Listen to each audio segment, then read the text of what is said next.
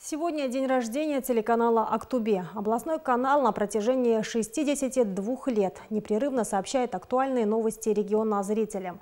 Он освещает различные аспекты экономической, культурной, социальной, политической жизни региона.